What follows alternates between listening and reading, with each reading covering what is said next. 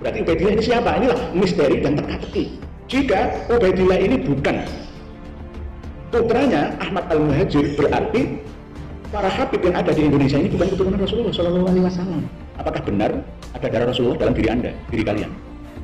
Najwa Shihab itu pernah dites DNA. Hanya 3,48 persen yang mengandung DNA Arab. Kita ini dijajah dari uh, keluar dari mulut singa Belanda, diterima oleh mulut harimau Jepang, diterima oleh mulut buaya para penjajah yang mengatasnamakan agama. Tertindas terus kita nggak bisa maju, nggak bisa merdeka. Mau merdeka itu, mau bangkit itu pasti dikonotasikan sebagai wah kau khawarij, kamu benci kabaib, kamu benci itu dia Rasulullah, pasti begitu neraka dan lain sebagainya.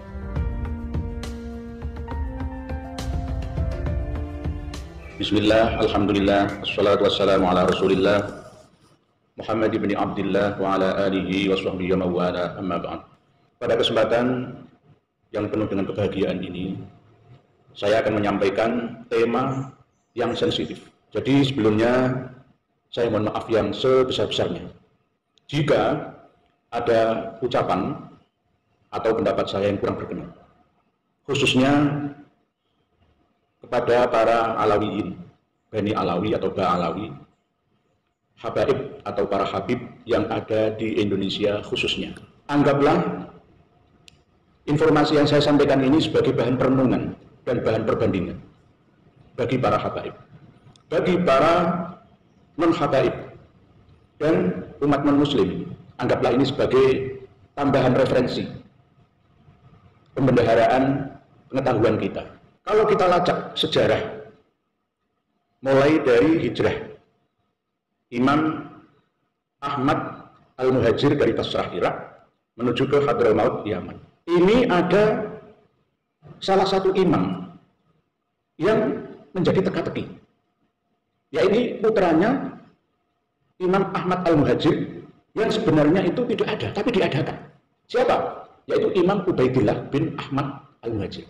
Imam Ubaidillah ini yang menjadi rujukan datuk para habib di Indonesia, bahkan Asia Tenggara. Mohon maaf sekali lagi, mohon maaf. Jangan marah, ini semua belajar, sama-sama belajar. Apa yang saya sampaikan ini juga tidak ngawur. Semuanya berdasarkan penelitian dan referensi yang saya dapatkan. Jadi, Imam Ubaidillah bin Ahmad Al-Muhajir ini sebenarnya menjadi teka-teki besar. Karena kitab yang mencatat tentang nasab yang paling awal adalah terbit pada abad kelima Hijriah, yaitu kitab Tah Ansab, karangan Imam Ubaidillah. Dan pada abad berikutnya, Imam Fakhrul Razi mengarang kitab Syajarah Al-Mubarakah yang mencantumkan tentang nasab-nasab duriyah Rasulullah Shallallahu Alaihi Wasallam yang asli. Di dalam sejarah awal diterbitkannya kitab tentang nasab. Ali Al-Uraidi ini benar-benar ada dan statusnya sahih duriyah Rasulullah. Karena Imam Ali Al-Uraidi ini juga meriwayatkan hadis dan banyak dicantumkan sanatnya oleh Imam Mudi. Beliau Imam Ali Al-Uraidi ini wafat pada tahun 210 Hijriah. Jadi jelas setelah Ali Al-Uraidi mempunyai anak yang bernama Muhammad An-Nakib, Muhammad An-Nakib mempunyai anak yang bernama Isa Ar-Rumi, Isa Ar-Rumi mempunyai anak yang bernama Ahmad Al-Wajir ya. Ahmad Al-Wajir ini hanya mempunyai tiga orang anak laki-laki yang bernama Ja'far, Abu Ja'far yang menurunkan keturunan di daerah Roy. Ya. Yang kedua Ali dan yang ketiga adalah Husain bin Sabur. Ali ini menurunkan keturunan di daerah Ramallah, tepi barat Palestina. Jadi tidak mempunyai anak yang bernama Ubaidillah. Terputus di sini nih. Terputus di Ubaidillah, Imam Ubaidillah. Jadi para habaib yang ada di Indonesia jangan bangga dulu. Tolong. Imam Ubaidillah ini apakah benar-benar putranya Imam Ahmad Al-Muhajir? Kuncinya di satu ini terputus teka-teki, misteri. Ada kitab yang diterbitkan pada abad 13 Hijriah. Ini kan abad 13 Hijriah. Rujukannya dari kitab yang diterbitkan pada abad ke-10. Nama Ubaidillah ini muncul. Padahal referensi, akurasi, primer itu harus sesuai dengan zamannya. Imam itu masih hidup. Atau paling enggak secara sekunder setelah beliau wafat ada buku yang paling tua sebagai rujukan awalnya. Nah, buku nasab paling tua itu diterbitkan pada abad 5 Hijriah karangan Imam Ubaidillah dengan nama kitab Tahzibul Ansab. Lalu disempurnakan lagi oleh Imam Fakhrul Razi dengan kitab Asy-Syajarah Al-Mubarakah. Ini abad 6 Hijriyah, bukan Masehi loh, Hijriyah. Qala Fahrul Razi fi Syajaratil Mubarakah amma Ahmad Al-Idhi fa'ati bihi min salah satu banin Muhammad Abu Ja'far bin Roy wa Ali bin Ramlah wa Husain akibihi bin Sabur. Jadi Imam Ahmad Al-Muhajir ini hanya mempunyai tiga orang anak laki-laki yaitu Abu Ja'far, Ali dan Husain. Tidak ada Ubaidillah. Baru pada abad 10 Hijriah, Ubaidillah ini dibarengkan pada awal hijrahnya Imam Ahmad dari Basrah Irak menuju ke Hadramaut Yaman. Bahkan sampai cucu-cucunya. yakni tiga cucu dari Imam Ubaidillah yang bernama satu Ismail alias Basri, yang kedua adalah Alawi, yang ketiga adalah Jadid. Nah, Alawi inilah yang menurunkan Habib-Habib yang ada di Indonesia dengan gelar Ba Alawi, Bani Alawi atau Alawiin yang akhirnya pada tahun 1928 didirikanlah Maktab Ad-Daimi Robito Alawiyah tahun 1928 di Batavia atau Jakarta, Betawi. Sekarang ketua Robito Alawiyah siapa? Habib Taufik bin Abdul Qadir as atau as dari Pasuruan itu, situ kiri. Jadi Ubaidillah ini bukan putranya Imam Ahmad Al-Muhajir bin Isa Ar-Rumi. Jadi terputus di sini misterinya. Siapa yang ketika itu rujukan saya adalah Imam Fahrul Razi. Imam Fahrul Razi juga seorang mufasir dan sejarawan, ilmuwan, ulama yang sangat teliti dan hati-hati dalam menyimpulkan semua masalah, khususnya tentang nasab. Pada abad 13 Hijriah itu terbitlah kitab-kitab karangan uh, para habaib, para habib ya tentang nasab, yaitu bernama kitab Nudlat Latifah fi Silsilati Nasabil Alawi. Ini ditulis oleh Habib Zainal Abidin bin Alwi Jamalul Lail. Yang kedua ada kitab Ittisalu Nasabil Alawiyin wal Ashraf yang ditulis oleh Umar bin Salim Al-Atas atau Al-Atos. Terus berikutnya adalah kitab Samsul Zahira ditulis oleh Abdurrahman Muhammad bin Husain Al-Masyhur. Ini ada dan menjadi rujukan, cuma diterbitkannya pada abad 13 Hijriah. Tidak bisa. Abad yang paling awal itu ditiadakan. Masalah nasab ini rumit dan sulit. Kenapa orang-orang Jawa tidak mencantumkan marganya karena orang-orang Jawa senang membawa. Dia tidak mengandalkan nasab, jantan dia, berjantan, menjalu, berdiri, berdiri sendiri.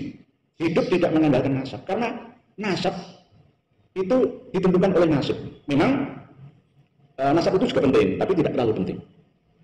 Karena kebanyakan dengan nasab ini nasibnya muncul dengan cara fitnah, ya, menipu banyak orang, sampai-sampai mencari banyak dalil untuk pembenar.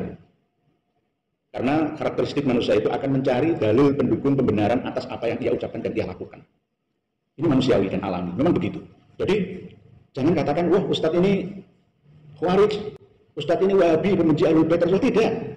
Saya orang sunni, ahlu sunnah wal jamaah yang selalu menghormati ahlul bait Rasulullah. Tapi siapa ahlul bait itu? Ahlul bait Rasulullah itu ya yang terdekat, ya keluarga yang terdekat dengan Rasulullah. Mungkin ya juga keturunan Rasulullah sampai sekarang, tapi saya kurang mengerti tentang silsilah nasabnya. Ada memang ada, tapi banyak yang sudah hilang. Jadi ada yang terputus. Oleh sebab itu banyak sekali kasus yang mengaku sebagai Habib yang akhirnya malah perilakunya tidak sama seperti gelarnya. Sangat baiknya orang Indonesia Nusantara ini. Orang-orang Tionghoa yang datang sejak abad 8 ya, sejak zaman Majapahit Kertanegara ya sampai zaman Demak, Bintara sampai sekarang juga mau berdampingan hidup bersama. Jadi orang Jawa, orang Nusantara ini semakin banyak menjalankan perintah Rasulullah. Falyukrim baifah, maka muliakanlah tamunya. Tapi karena saking banyak orang Indonesia ini jangan katakan orang Jawa, orang Nusantara ini sebagai manusia jahiliyah. Jangan. Jadi mari berhubungan baik. Mari berhubungan baik antar sesama umat manusia. Welcome orang Nusantara ini terhadap semuanya. Jangan anggap kalian para habib itu sebagai majikan dan orang-orang pribumi sebagai bawahan. Jangan. Sampai-sampai saking baiknya umat Islam Nusantara ini juga menganggap bahwa jika ada dua orang alim, yang satu itu dari orang Yaman, keturunan Arab, dan yang kedua ini dari keturunan pribumi, yang pertama ini didahulukan orang-orang keturunan Arab dulu.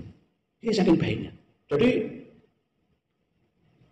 para habib atau habaib atau sayyid atau syarif yang ada di Indonesia ini mudah untuk dikenal ciri-cirinya karena memang mereka jarang membaur kecuali para habib pada gelombang pertama pada abad 11-12 Masehi. Mereka sudah membaur dengan masyarakat Indonesia membumi yaitu Fam Azmat Khan dan Fam Basyaiban. Kalau Bani Alawi ini Dia eksklusif dia. Menutup diri, tidak mau menikah dengan yang tidak sekufu, tidak sepadan, tidak sebanding. Dan menjaga silsilah yang mulia itu. Nah, yang mulia ini dari mana? Nah, ini kembali kepada Ba'alawi. Ba'alawi ini apakah benar ya ayahnya itu Ubaidillah bin Ahmad al-Muhajir atau tidak? Ini kami ambil dari kitab Asy-Syajarah Al-Mubarakah karangan Imam Fahru Razi bahwa Imam Ahmad Al-Muhajir ini tidak mempunyai anak yang bernama Ubaidillah. Berarti Ubaidillah ini siapa? Inilah misteri dan teka-teki. Jika Ubaidillah ini bukan putranya Ahmad Al-Muhajir berarti para habib yang ada di Indonesia ini bukan keturunan Rasulullah Shallallahu Alaihi Wasallam. Ayo, kuncinya di sini ini satu. Nah, Ubaidillah itu benar-benar putranya Ahmad Al-Muhajir ini karangan kita pada abad 10, abad 5, abad 6 Hijriah itu tidak mencantumkan itu. Imam Fakhrul Razi dan kitab As-Sajarah Al-Mubarakah itu mencantumkan bahwa putranya Imam Ahmad Al-Muhajir itu tiga tok dan tidak ada Ubaidillah.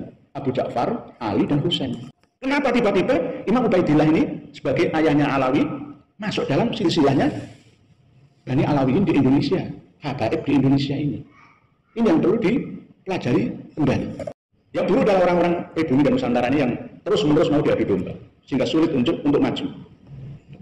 Keterbelakangan terus dalam hal uh, mental, spiritual, dan material. Oleh sebab itu, ini saya sampaikan agar senantiasa semuanya sama-sama cerdas. Keturunan Arab Yaman Hadramaut juga introspeksi diri. Apakah benar ada darah Rasulullah dalam diri Anda, diri kalian? Najwa Shihab itu pernah dites DNA. Hanya 3,48 persen yang mengandung DNA Arab. Kebanyakan mengandung DNA Mongoloid, Asia Selatan, Bangladesh, Afrika, Pakistan, tidak dari orang Arab asli. Padahal kalau rumus DNA yang asli itu adalah dari orang Arab itu uh, mayoritas, harusnya begitu. Cobalah para habaib yang ada di Indonesia ini mau tes DNA untuk standar ilmiah saja. Kalau memang mengagungkan faktor keturunan. Kalau hanya sekedar dogma keyakinan saja ya Allah alam, saya nggak ngerti. Tapi kalau memang mau terbukti fakta ilmiah, silahkan tes DNA lebih banyak unsur DNA Arab kah atau non Arab. Oleh sebab itu eh, para habaib yang ada di Indonesia ini jangan hidup hanya mengandalkan nasab.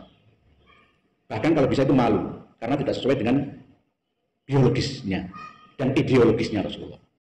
Oleh sebab itu sekali lagi saya ingatkan jangan sekali-kali untuk berbangga diri secara berlebihan yang akhirnya menonjolkan ketakaburan, kesombongan. Karena kesombongan itu milik Allah. Kita tidak berhak untuk berlaku sombong atau bahkan justru malah berbohong. Saya keturunan Rasulullah, saya ada darah Rasulullah. Dari siapa? Dari mana? Dari silsilah siapa? Seharusnya Anda, para keturunan uh, Arab yang mengaku Habib di Indonesia ini justru satukan orang-orang pribumi. Anda akan selamat. Dulu kan kiai-kiai itu, dulu kan ustadz-ustadz lokal itu. Baru Anda makmum di belakangnya itu Anda akan selamat.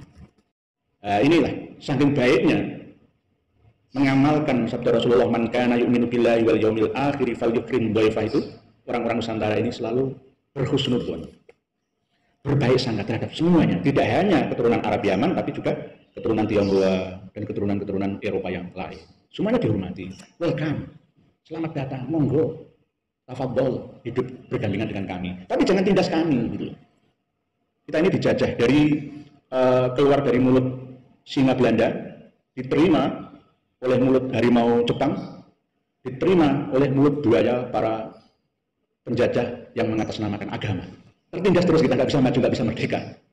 Mau merdeka itu, mau bangkit itu pasti dikonotasikan sebagai wah kau khawarij, kamu benci kabaib, kamu benci itu dia Rasulullah, pasti begitu, neraka dan lain sebagainya. Tolong, kalau ada yang bisa membantah, ya, apa yang saya sampaikan ini, bantah juga dengan ilmiah, data yang ilmiah. Jangan hanya sekedar uh, istilahnya marah. Ya. Jadi tidak semuanya keturunan Arab itu pasti keturunan biologis Rasulullah.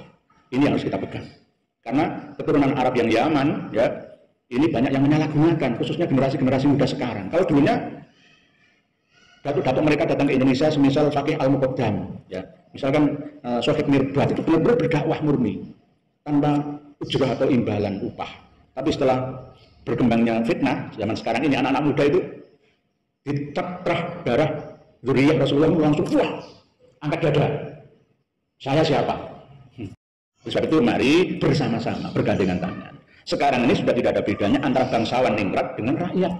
Islam datang ke Indonesia ini menghilangkan sekat-sekat perbedaan masa itu. Oleh sebab itu, sekali lagi orang Jawa ini mau mengalah, walaupun mayoritas tapi tidak mau menggunakan bahasa Jawa sebagai bahasa nasional. Ini kan saking baiknya, welcome-nya, valuable wifi-nya orang-orang Jawa Nusantara. Tetap memakai bahasa Melayu, ya bahasa Indonesia. Walaupun ada campuran Jawanya dan Arabnya, sebagian Cinanya. Tapi orang-orang Nusantara tetap uh, mengalah, khususnya orang Jawa. Oleh sebab itu, dengan mengalahnya orang Jawa ini jangan selalu ditindas malah. Selalu dipojokkan sampai ke bibir jurang. Sampai kapan akan melawan begitu.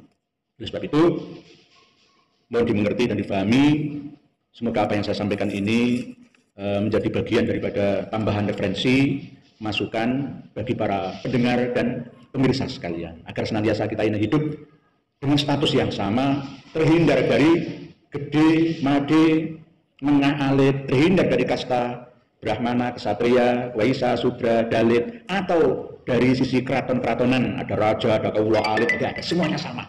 Keadilan sosial bagi seluruh rakyat Indonesia.